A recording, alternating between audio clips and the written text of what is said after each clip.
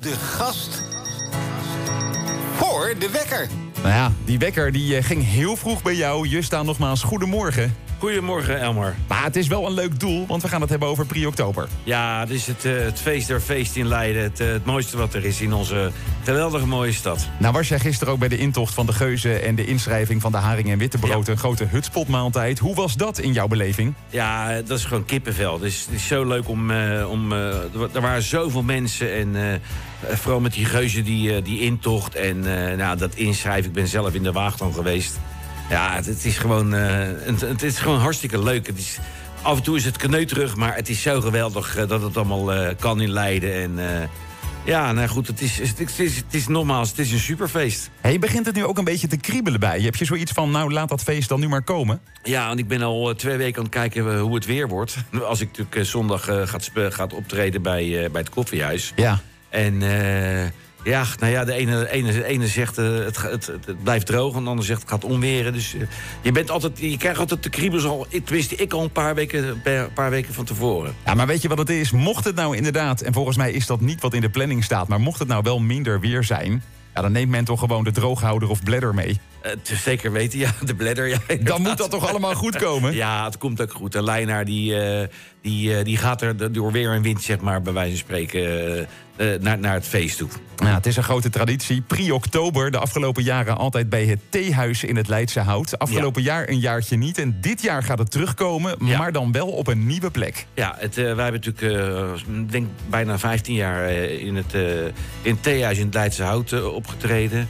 En ja, vorig jaar is dat, een, eh, is dat eigenlijk niet doorgegaan eh, door middel van ja, beveiliging, eh, weet ik het allemaal. En nu heeft Bas van eh Koffiehuis Valk het opgepakt. En ja, ik ben ontzettend blij dat ik dat het eigenlijk. Het, het is een evenement eigenlijk geworden. Het is begonnen met, met, met 100 man. En op een gegeven moment ja, kwamen er tussen de 700 en 800 man kwamen, op ons af. Dus ja, dat is super.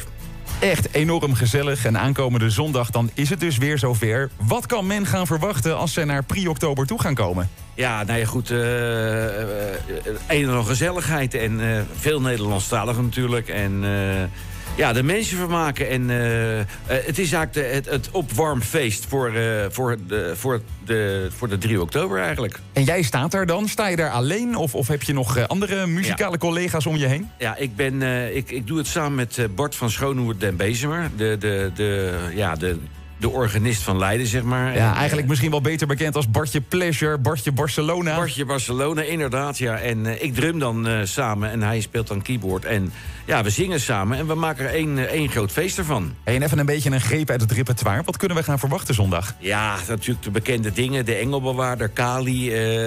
ja, ga zomaar door. Alle, alle Nederlandstalige hits komen, komen. En natuurlijk ook, ja...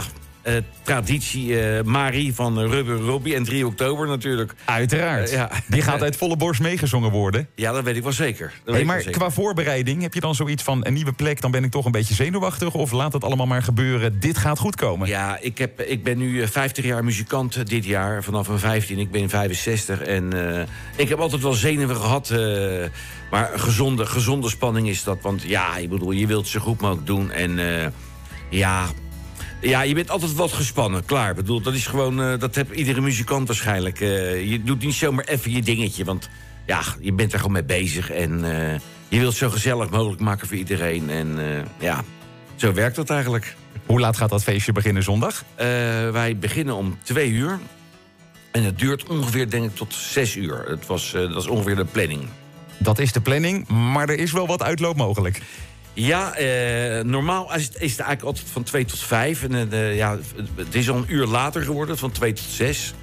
Eh, we hebben ook wel eens een uurtje langer gespeeld. Dat, eh, maar goed, eh, het moet niet te donker worden natuurlijk. Want Ja, dat is ook wel waar. Maar goed, dat heeft ook alweer zijn charme. Ja. En nu je er toch zit, eh 1, 2 en 3 oktober, dit jaar een dagje extra feest. Ja. Eh, heb je dan ook optredens in de stad? Of? Ja, ik heb een aantal bejaardenhuizen waar ik, eh, waar ik optreed. En eh, dat doe ik ook via de 3 oktobervereniging. Dat doe ik ook al meer dan 40 jaar. Eh, onder andere de, eh, bij Rijn en Vliet, eh, bij Roomburg, eh, we kijken bij de Waard. En eh, ja, dat, eh, dat, dat doe ik al jaren. En dat is echt heel dankbaar om dat te doen. eh, voor de mensen die dus het feest niet meer mee kunnen maken in de stad. Breng ik toch een beetje gezelligheid in het huizen.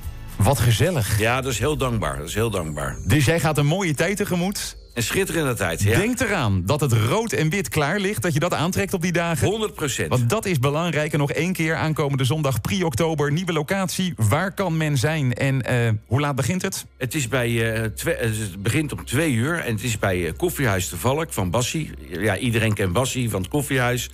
Eh, bij Molen de Valk, eh, daar eh, op, het, ja, op de Beestenmarkt, zeg maar zo'n beetje. en daar, daar kan je ons vinden. Jesta, dankjewel. Heel graag gedaan. En maak ze gek komende zondag.